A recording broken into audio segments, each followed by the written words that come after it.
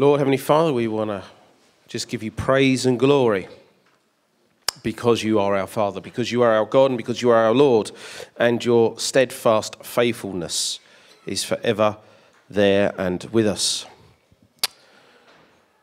Father, in the name of Jesus, I want to give you thanks in your Psalm 24, where it says, The earth and everything in it is the Lord's. That means, Lord, through everything you can communicate to us when we want you to. You use everything that is in the earth in one form or another to communicate. And Father, we pray now as we look at your word, as we listen to a song, you start speaking to us via your Spirit in the name of Jesus. Amen. When the going gets tough, the tough get going. Or another way of looking at it is when the going gets tough, the tough get gone. I believe that the Lord can communicate through all medium. I believe that if the fact he can communicate through his nature, his magnificent radiance, he communicates through worship and song uh, himself. I believe he can communicate to us through the things that maybe run that we consider to be worldly and secular. Hence why using that particular song, because if you listen to maybe commercial radio stations in your car a lot during the working week, especially some of those that may have a lot of heart, you might hear that quite often. And maybe God might well remind you this morning of something He's spoken to you this morning as you're listening to that song. It wasn't there just for me to look like a bad dancer. But it's that message when the going gets tough, the tough get going. Or the flip side, definitely for me, is when the going gets tough, do the supposed tough suddenly get gone? We're going to look in the letter of James this morning, and you'll dive. Excellent. It's going to be chapter 1, verses 1 to 18. Letter of James is probably maybe a letter that once you've read it the once, you might tend to want to avoid it slightly. Um, I heard last night from somebody that actually it's one of their favourite letters. I am praying for them. Um, but it is a good and wonderful letter. But it does appear to be one of the letters that seems to say that actually uh, salvation only comes through how we work. how our grace is given to us by God by deeds. That's not what it says, but that's how some people take it because there is a misunderstanding of what is being said there. And also, it may not be one of your most favourite letters because it can make uncomfortable, especially if you talk a lot because it does say that your tongue is like the small rudder of a very large ship. It seems to steer your course for you, whether you say good things or bad things. And personally, my favorite uh, personal verse in there, James 3 1. Not many of you should presume to be teachers, my brothers or sisters, because you know that we who teach will be judged more strictly really warms the cockles of my heart that I'm going to be judged, and as myself and Pastor David and others who teach, we are judged more strictly. Doesn't that make you happy?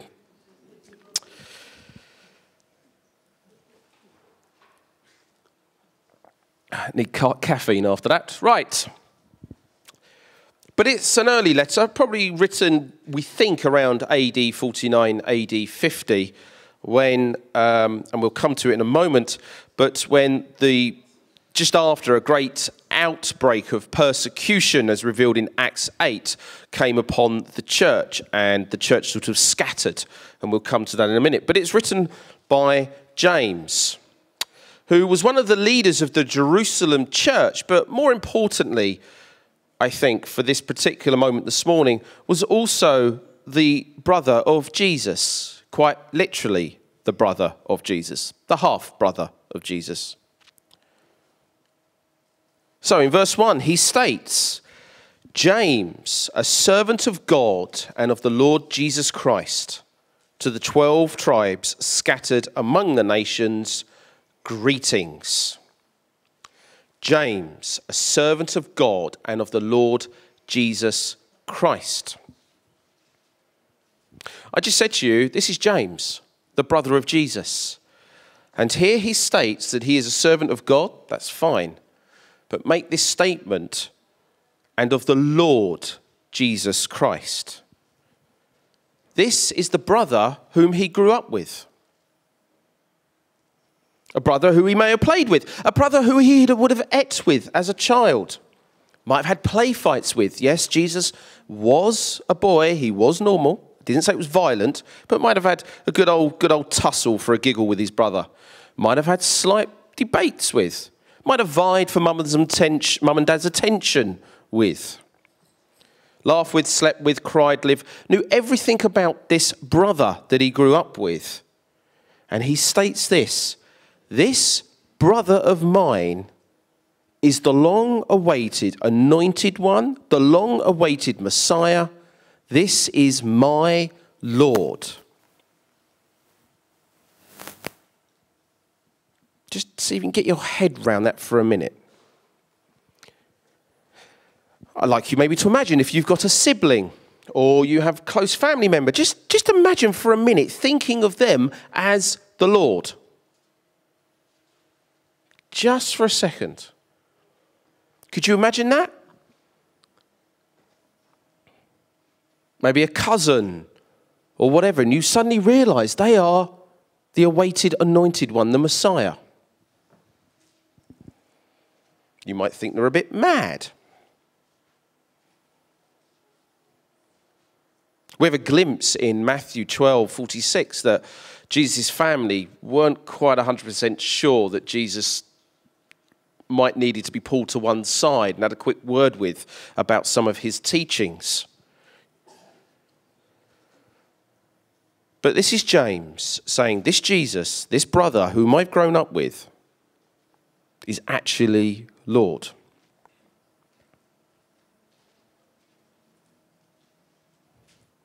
I have a brother. That would be interesting. I just, you know, I sat there for myself just for a moment and just thought, what would it be if I thought, if it turned out he was the Lord?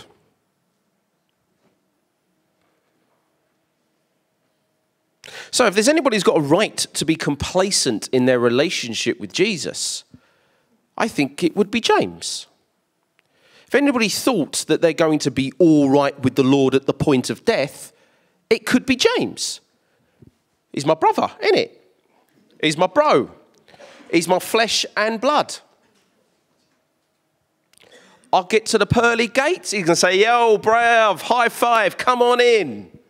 Do you remember when we were 12? Do you remember when we were. Do you remember when you stayed at the temple? Whoa, were mum and dad fuming when they went to go and get you. Could you imagine that? Yeah, let's have a laugh and giggle. So if anybody could be complacent, you could say it could be James. He could chill a little bit, be a bit relaxed about it. Hey, it's my brother. I grew up with him. It's not a problem. I know I'll be fine. It's not what, it's who you know. And I'm in. Same genetics. It's okay. So when this half brother of Jesus writes this letter talking primarily, partially about Christian maturity and how a Christian should be and what should be going on in the face of persecution or in the face of trouble.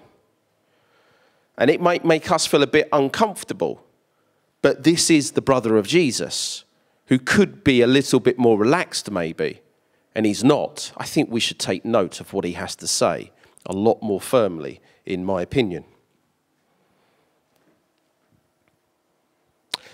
So he's written it to the 12 tribes scattered among the nations. As I said, the Jewish Christians, uh, a great, uh, this is where Stephen had just been stoned in Acts, tail end of Acts 7, and Acts 8, a great persecution broke out upon the church, and the church had to scatter to the nations. So he's trying to write to encourage them. Now, I'm giving you his background because I think I might be carrying on with the letter of James after my, in September after my annual leave. I just thought I'd note that, by the way, this is my last Sunday with you until September.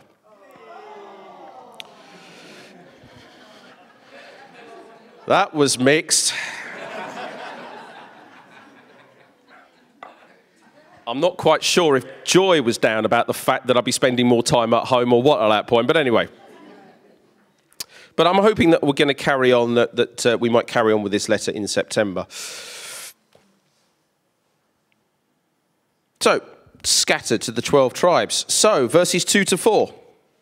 Consider it pure joy, my brothers and sisters, by the way. I'm not going to keep saying that. This is meant to be to both. Whenever you face trials of many kinds, because you know that the testing of your faith develops perseverance. Perseverance must finish its work so that you may be mature and complete, not lacking anything. I love this phrase whenever you face trials, it's not if you might, maybe, possible, it's you will. So when you face these trials, or adversities would be another good phrase to use, you will face many kinds. The word for many kinds is not well rendered here in the English. The Greek really means many coloured all different shapes and sizes, many different forms, and at different times. These trials, these adversities will come at you in different ways.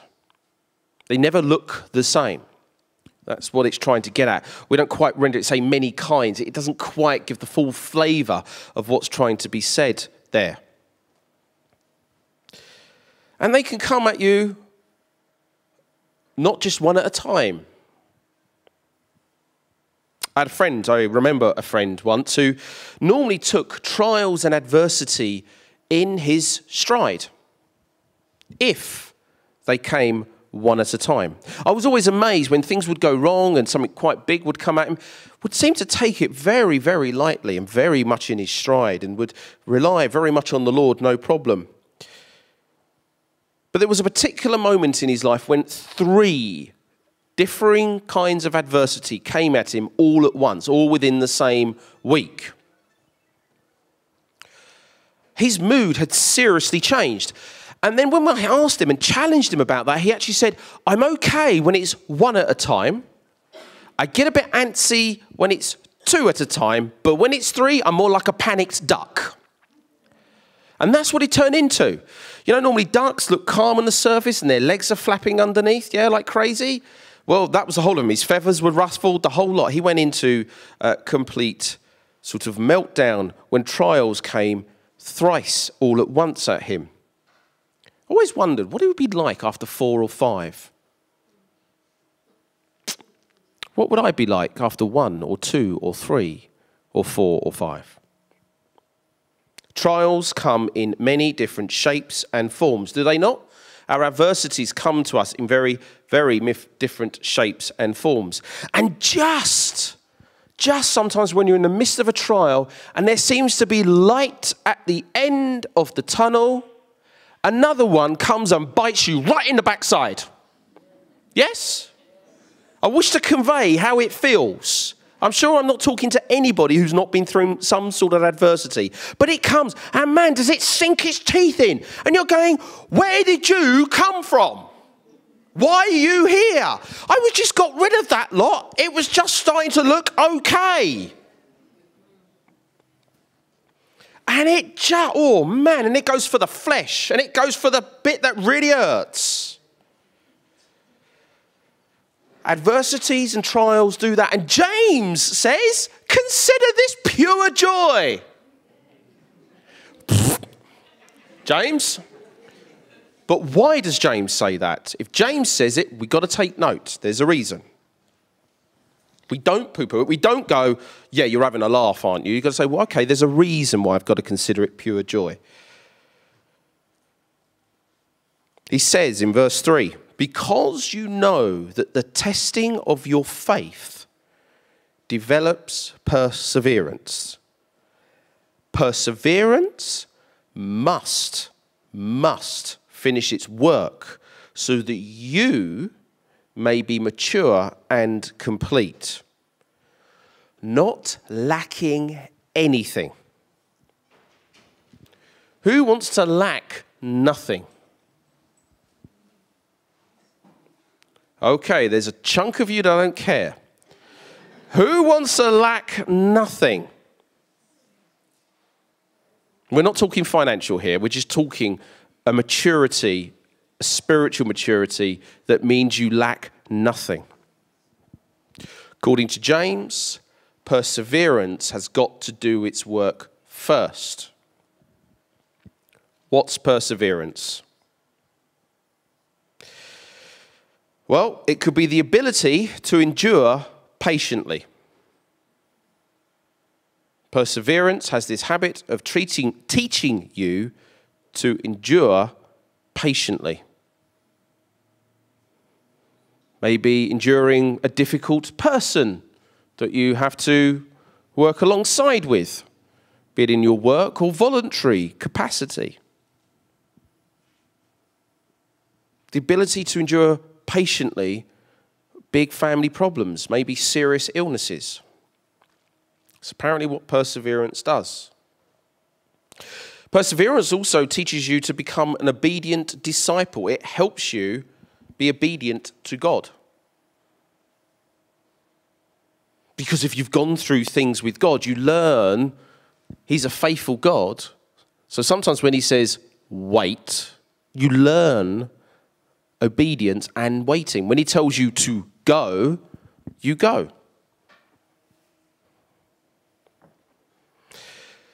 But for me, more importantly, I think for this morning, perseverance teaches you steadfast faithfulness in God, not to become a part time Christian. When adversity comes, you learn through perseverance to hold on to the Lord no matter what and continue to work and be for Him even when you're in the midst of serious difficulties. And we'll unpack that a little bit more later. Perseverance is something that our society does not teach very well. Oh, it teaches that you should go to work popping pills inside your throat to keep going when you're ill, which I wouldn't consider to be perseverance. Because sometimes if your body's saying you're sick, sick, you listen to your body. And I need to learn that lesson myself. but our society teaches now if you can't win at games, don't worry, there's no such things as losers anymore. So don't keep the training going. It's only for the elite few who are up in Glasgow at the moment. Tom in the diving got a gold in Edinburgh.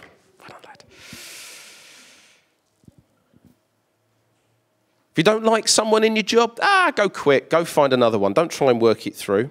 If you're struggling in relational conflicts with friends, ah, don't worry, don't bother trying to work out. Just dump them, go and find new ones. You laugh, but this is what our society teaches us. Struggling in church, not finding maybe the worship or the teaching time currently to your liking.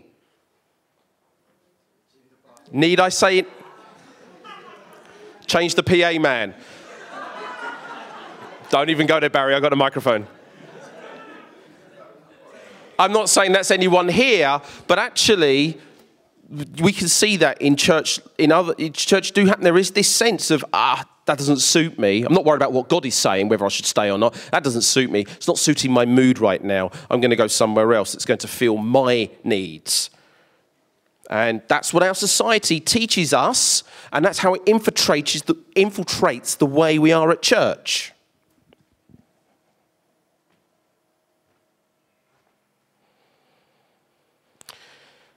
Perseverance is seen as a bad thing because it is a result of suffering, which is true. It is through suffering you learn perseverance. But unfortunately, in our society, suffering is something apparently to be avoided at all costs. You shouldn't suffer, so avoid it. Well, we live in a broken world. We're going to suffer. If you spend half your life trying to avoid suffering, you're not going to have much of a life because that's all you're looking for is avoidance. And that's not what God calls us to do. And I'm going to say this this is the biblical concept of trials and testing. Stulac, one of the people I was reading, said the biblical concept of a testing, as James uses it here, is one that does reveal the genuineness of a person's faith, but James says the test is also designed to develop something that is not yet present in full measure in the person. Our society says avoid suffering. Our God says actually, no, suffering does something. It brings out something in you that is new, it grows something in you that is new. We are to see suffering as different. Now, I want to use this phrase. I mentioned earlier on in this week that I was talking on this, and it made very clear to me please do not tell me you're going to tell us that we laugh our way through trials and adversities. That is not what I'm saying. You do not laugh your way through them. But there is a way of looking at trials and adversities that says, there is something new that God is doing here in me, through me. Something new is going to grow in me. Trial can be seen as a positive element when you look back afterwards and go, wow, something new has grown in me. There's been a new spiritual growth in me. There's been a new sense of perseverance. I can handle situations better because I've learnt about our faithful God. And I'm sure I am talking to plenty of people who have done that and are going through trials today. And maybe for you, this is God saying, persevere.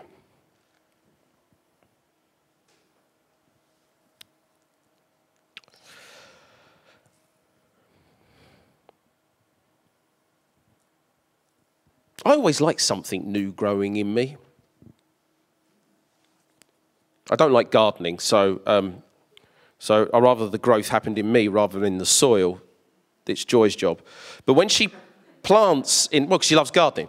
When she plants something, she gets a real enjoyment of seeing. Excuse me, love. I know I wasn't going to use it, but anyway, she sees a real joy in seeing the plant grow and flourish, and the flower. Yeah, but she spends her time keeping it well fed, well watered, sometimes dealing with rogue foxes or whatever else who might want to cause trouble, and, and rogue creatures and cats might squash it or lay on it. But you see eventually that beautiful thing grow, and you can look and enjoy it. Partly for me, trials and adversities like that, sometimes, that actually it's not until you see the result afterwards you say the toil and the trouble was well worth the new growth that has happened within me. I've become more mature. I'm starting to lack less. So, how does this happen? Well, verses 5 to 8 says this If any of you lacks wisdom, he should ask God, who gives generously to all without finding fault, and it will be given to him. But when he asks, he must believe and not doubt, because he who doubts is like the wave of the sea, blown and tossed by the wind. That person should not think they will receive anything from the Lord. They are a double minded person, un- unstable in all they do.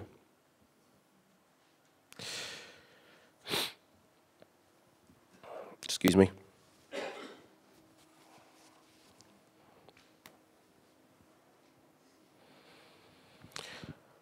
When adversity comes along and bites you there, sometimes what's your first reaction?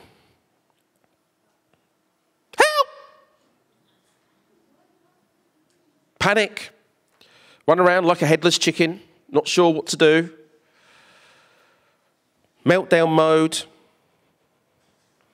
do everything. Go and ask everybody else under the sun, what do I do? What do I do? Go and seek all human help that you can possibly do. You run round, not sure. James says, actually, ask God for wisdom. And God will give it generously and liberally. He'll just give it. You ask for wisdom, He'll just give it. If you ask for wisdom in your trial and your adversity, He will give it because He's a generous God. He'll just go, Yes, you want wisdom? Oh, fantastic. Want wisdom? Great. Yeah, there's wisdom for you over there. God just gives it because you ask. Problem is, some of us read James when it says about without finding fault. We misread that. We think it means that I've got to be without fault before God will give it to me. I've heard it plenty of times. Oh, I've got to be perfect before God will give me wisdom. Now, my grammar's not the best in the world. And that's how I used to read that. But that's not what it's saying. If you can look at the English translations we got now, if you just read it, if any of you lacks wisdom, he should ask God, who gives generously, and it will be given to him.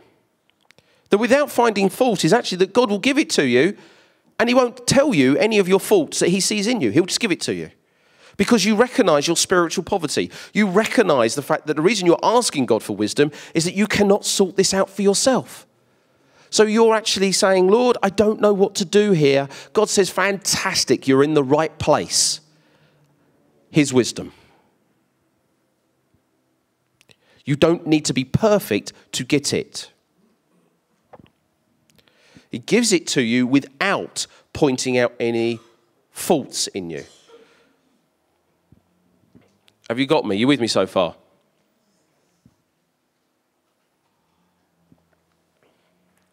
So if you're going through a trial right now, if you're going through adversity and you feel you can't ask God for wisdom because you are not sure that He's going to give it to you because you think you're at fault, and you might well be, but He's still going to give you the wisdom. Because he'll point, you know, eventually he'll say, when you look back, you realize you made a mistake, but it's okay, I'm going to give you wisdom now to work through it. But there is a caveat. And this is it that when you ask, you must believe and not doubt. You must believe that you are going to receive this wisdom. Excuse me a moment.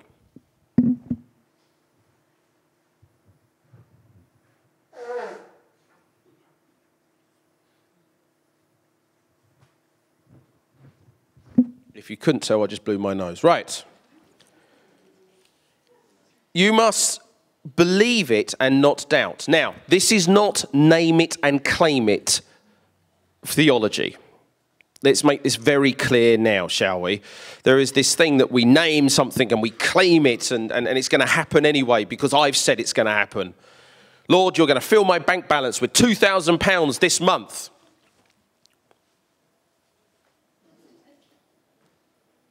It's not that. And because I believe it's going to happen, it will happen. No, it's not that. It's not that I want £2,000. It was just the first figure that sprung to mind. Timmy might be thinking that about the building works here, but that's not what I'm thinking. I know it's more than 2,000, Uncle Timmy. I'm aware of that, and I'm sure you'll come to us later. But I'm talking about here, it's about being double minded.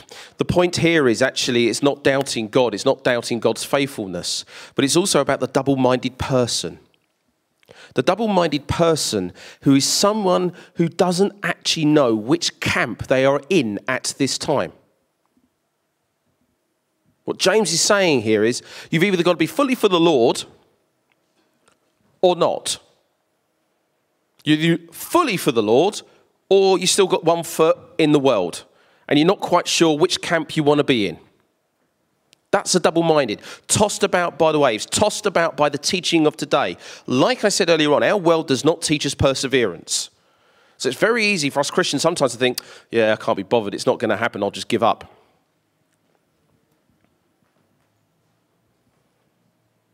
It's about a consistency of walking with God in adversity and not thinking, do you know, I'm just going to back down.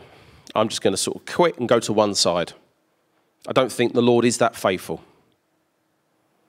Saying, you've got to believe and not doubt. Don't be double minded. Don't put your trust in anything else other than God through your trials. When the going gets tough, does the God tough in you come out or does you go and get gone? Don't be double minded. Believe in God, receive his wisdom. Don't be tossed around by the teaching of today. That is what he's saying. Be consistent just because it's another trial, another adversity, why is the same faithful God going to be any less faithful then or now than he was then? How's that going to happen? Don't be double minded. Believe, receive. As I said, I come back to this phrase again. I am not talking about laughing your way through trials, but it is a conscious mental belief to believe that God is faithful and he will give you what you need to see you through this adversity.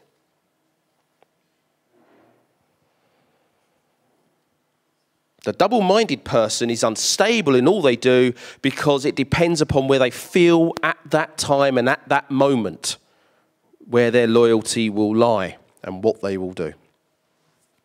James said that person shouldn't expect to get wisdom from God because they're just blowing around in the wind a lot.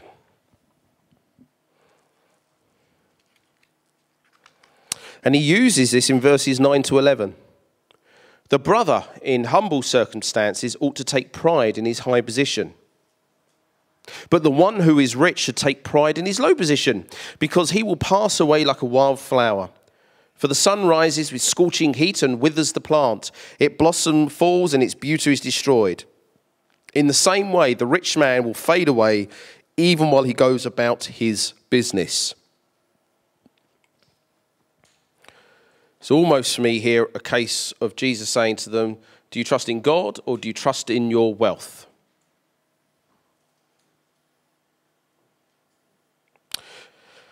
James initially is talking to the brother Christian in humble circumstances. Maybe here the view was that the Christians were looking to the non Christian rich people and thinking, well, they seem to have it all. They've got their money, they've got no problems. If I had money, I'd be all right because they've been scattered, they clearly had to leave and maybe left a lot of their possessions or some wealth behind, and they were living in poverty in other areas. And maybe they were looking at the non Christians and thinking, the rich ones, and thinking, oh, I want to be like them. James is saying, no, take pride in your humble position because actually your status in God is vastly higher than any money or security. He's not here talking to non he's not talking to Christian rich people. When he talks about, but the one who is rich, never once is he referring to rich Christians. He's talking just to the rich people in the area. Don't be double minded. Trust in God. Don't trust in financial security. Verse 12 Blessed is the man who perseveres under trial, because when he has stood the test, he will receive the crown of life that God has promised to those who love him. Verse 12 is really a summary of the previous verses. The trials you are going through now will grow in you that which you previously never had perseverance. And persevere because God has given you the crown of life.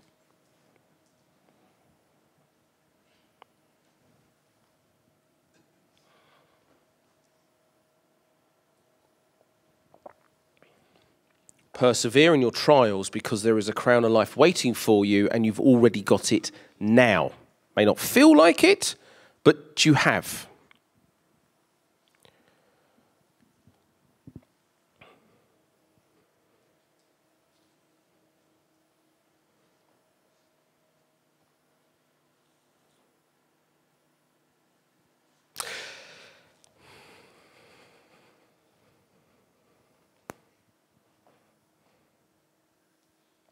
There is this strange belief sometimes that being a Christian means that life should be easy.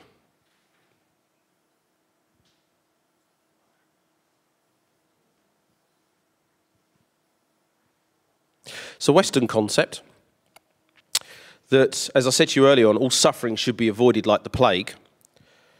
And therefore, then, life should be easy. But it's not in the Bible. And adversities and trials come, as I said, in different forms and shapes. But I want us to be very cautious about something because sometimes we blow things out of proportion. Or the world blows what they see as trials and adversities out of proportion. Who watches the DIY programs? Come on, just admit it. Come on. Goodness me. Now, some of those programs are really amazing. They go along and help people whose houses are in a state of disrepair or, or whatever else. And, and the reason they're like that is either great tragedies hit the family at some point, maybe a death in the family, serious illnesses, loss of jobs into the point where due to illness and there's no way they can regain it. And so they put the house back to a proper living standard where they go beyond that. They design it into this beautiful show house. I've always want to go back a year later and see what they look like afterwards. Anyway. and they genuinely are helping very needy people. But I remember watching one program, and I can't remember if it was one of these DIY programs, but it was to do with some reporting that was going on. And um, they come across this couple who had two children. Both parents had jobs, and they were just talking about their life and, and, and how, not the parents weren't, but the way the reporter was doing it was with an incredibly simpering voice of, Yes, you have a job each. Yes, your husband has to go to work seven o'clock in the morning and may not return until seven o'clock at night, Monday to Friday.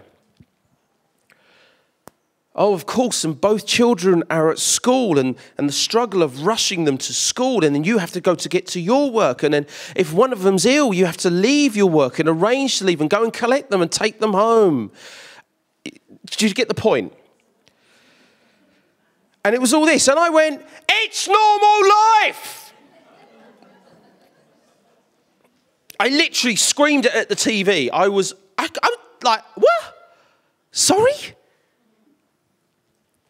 And I think there was something along the lines of, Oh, yes, and you've got to do your DIY work on the Saturday because you only got two days to spend with your children. I'm like, Hello? I bet there's, I know tons of people would love to have that time with their children, but they have to work two or three jobs to make just ends meet. And what I'm trying to get at, please let's not mix up trials and adversities with what is just normal life. There is this strange belief that we are not meant to be working this hard. I think there's some strange belief for some of us that we maybe, when we die, we're going to be sitting on clouds playing harps. In the Old Testament, we were meant to work the ground. We were meant to manage our Lord's creation for Him. That does mean work. The problem was the fall of Adam and Eve meant we had to toil. There is a big difference. But we were designed to be active.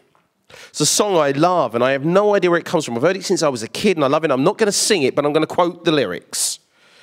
I'm busy doing nothing, singing the whole day through, trying to find lots of things not to do. I wish to be unhappy, but I do not have the time. And he goes on something like that uh, I don't have any time. I'd like to be unhappy, but I do not have the time. I'm busy doing nothing. Isn't it such a crime? And it goes on like that. But basically, the whole song, I've just gone out of my head. I don't, I don't normally recite it at home all the time. Well, sing it badly to joy at home all the time. But there is this strange belief that we're not meant to do anything. This is normal life. Please let's not take trials and adversities that is normal life as such and blow it up out of all proportion.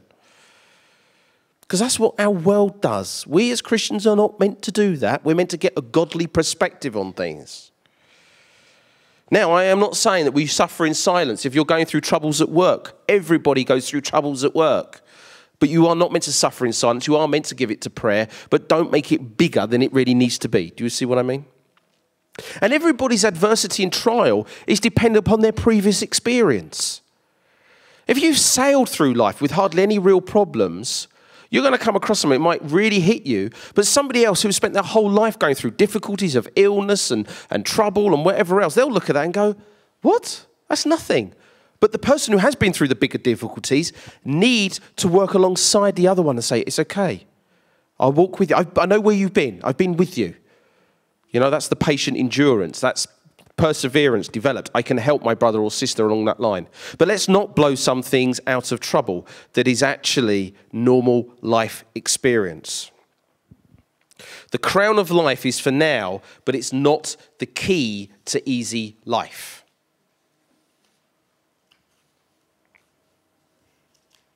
So James is saying, really, the true question is is Christ worth following if your spouse has an affair and leaves you? Is Christ worth following if you lose your job? If you lose money? If you lose a loved one? If you lose your health? Is Christ worth following? The answer is yes. Oh, good, that's all right then.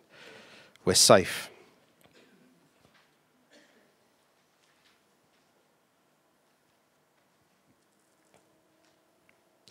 Point is that God has promised something to those who love Him the crown of life when you go through adversity. But He has promised that something new will grow in you when you're going through it. You are to consider it pure joy. And then we've got to make this point verses 13 to. Yeah, we'll go to the end of 18. When tempted, no one should say, God is tempting me. For God cannot be tempted by evil, nor does he tempt anyone. But each one is tempted when, by his own evil desire, he is dragged away and enticed. Then, after desire has conceived, it gives, full birth, it gives birth to sin, and sin, when it is full grown, gives birth to death. Don't be deceived, my dear brothers and sisters. Every good and perfect gift is from above, coming down from the Father of the heavenly lights, who does not change like shifting shadows. He chose to give us birth through the word of truth, that we might be a kind of first fruits of all he created.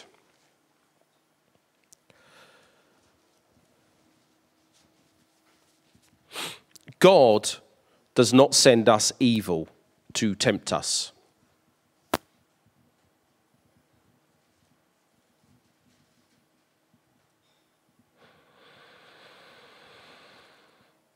So no one should say, ah, oh, God is tempting me. God has put this trial in front of me. God allows trials to happen.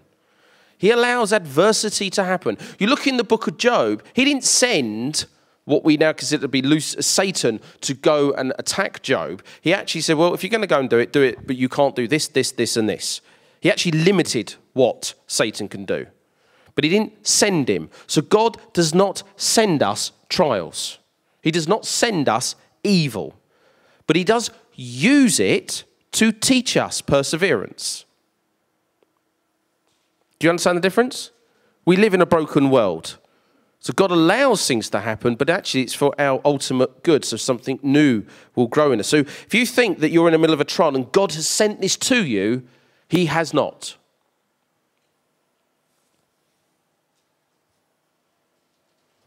So then what James then is then continuing to say here, actually, for God cannot be tempted by evil, nor does he tempt anyone, but each one is tempted when, by their own evil desire, they are dragged away and enticed.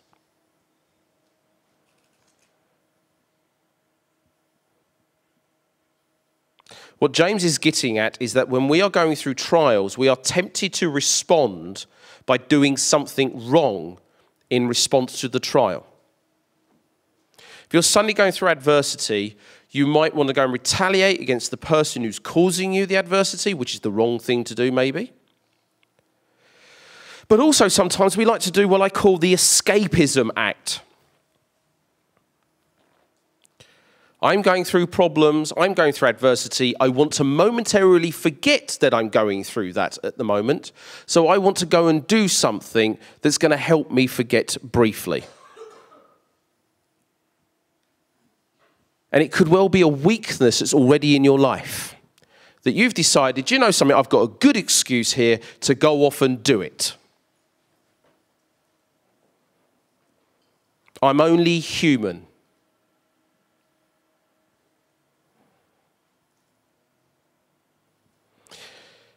What James is saying, actually, it's here. It's actually when you go and do that, you're enticed by your own evil desire. You want to go and do it really deep down underneath. So you're using your trial as an excuse to go and do it. It could be you want to go and get drunk. You want to have unmarried sex. You might want to look at pornography. You want to go and gossip. You might want to go and hurt somebody else just to make them feel bad, just because it will make you feel better.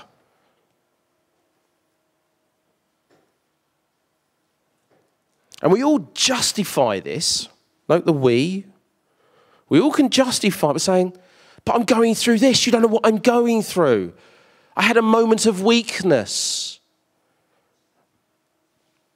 And what James is saying, yeah, but these are actually your own evil desires anyway, ones that you've never actually dealt with, you haven't worked through. And sometimes these adversities come out to bring that to the surface so it can be dealt with as well. But you shouldn't use it because once you do that, once you give birth to it, it will lead to death. Don't use it as an excuse. You must persevere in your trial with God. Do not be double minded. Sit with God in this trial. Doesn't make easy reading, does it? I read this this week and I thought, goodness me, this is not going to be a fun one. But as I said, if the brother of Jesus says, this is how we're meant to be, this is, produces maturity, then I think we should take note.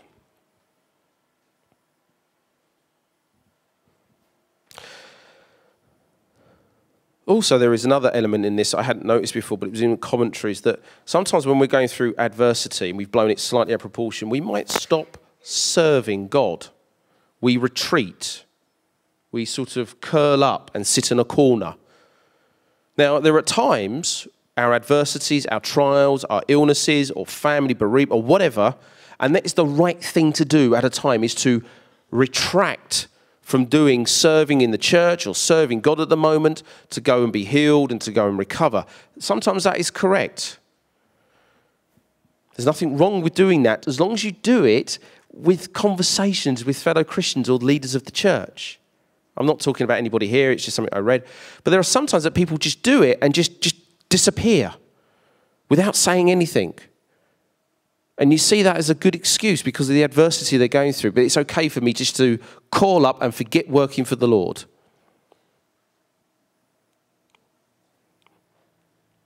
Part of this here, James is saying, actually, that's really your desire at the end of the day. You just don't really want to do anything. So you're going to curl up and you're going to use it as a good excuse to disappear.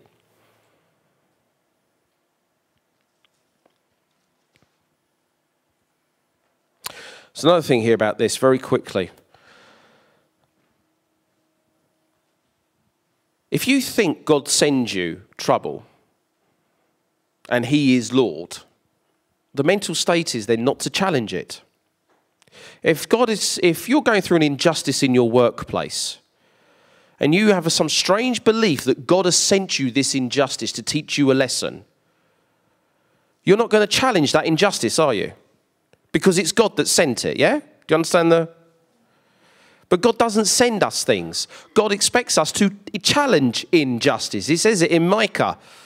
He expects us to challenge injustice. So if you think God's ever sent you injustice or trouble in that form, He has not. You are meant to challenge it. Why bother asking God for wisdom in what to do if He's saying, Well, I've sent it to you, don't do anything? Do you get the point? God doesn't send us these problems. We're meant to recognize that. He actually wants us to work through it with Him in wisdom and bring things something out.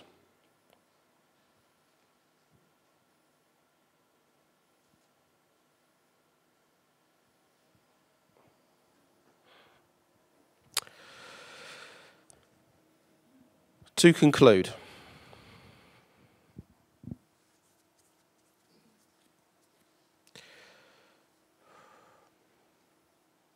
If you're going through an adversity now, do you consider it pure joy?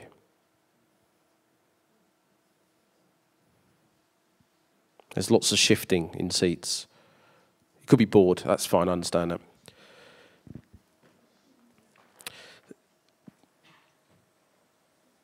This maybe have been a trial for you this morning for the last 50 minutes. You never know. Um,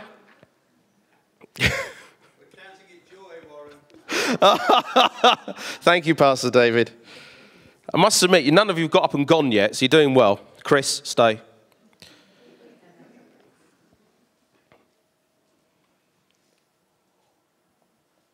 There are two responses to trials. You can respond out of your evil desire, making the trial an occasion of temptation leading to sin. You can make any trial or adversity a good excuse to go and do what you want to do. Or you can respond out of faith with joy that you are truly blessed. This response makes the trial an opportunity for testing instead of temptation. And this testing develops perseverance that causes the Christian to become more like Jesus, mature and complete.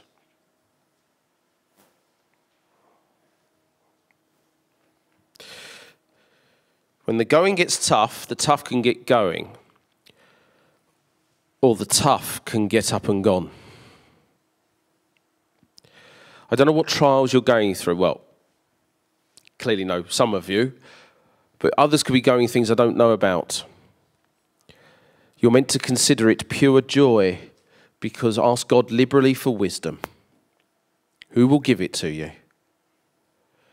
And look at it as an opportunity for you to grow in your faith, not as an opportunity for you to go and do what you want to do. We are called as Christians to persevere, is to walk through these trials with our Lord, to actually mentally say, Yes, Lord, you are faithful. And I'm not standing here as one, one saying, Oh, it's all rosy and sun, sunshine. This is so easy to do. It is a conscious effort that we have to make every day with our Lord to persevere, to go through it with Him at all times. And this will bring about a maturity in each and every one of us as individuals, but also a maturity in us as God's household. Do you get the point? So I don't know what you're going through, but James is saying persevere. Not on your own, but in the strength of the Lord. Let us pray.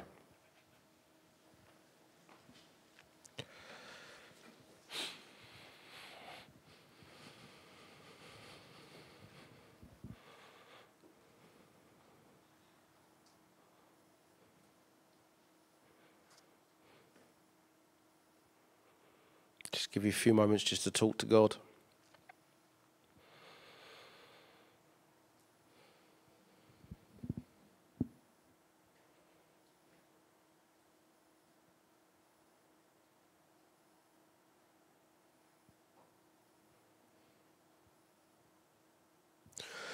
Lord, if we were honest, we would want to scream when we're in adversity and trials of many different kinds. Get me out of here.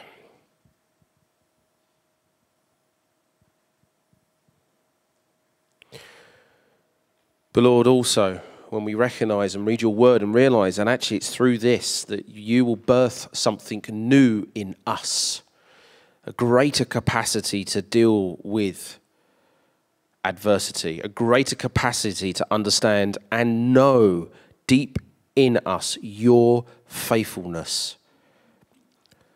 Father, I pray for each and every one of us who are going through trials and adversities at this time that you will help us to consider it pure joy,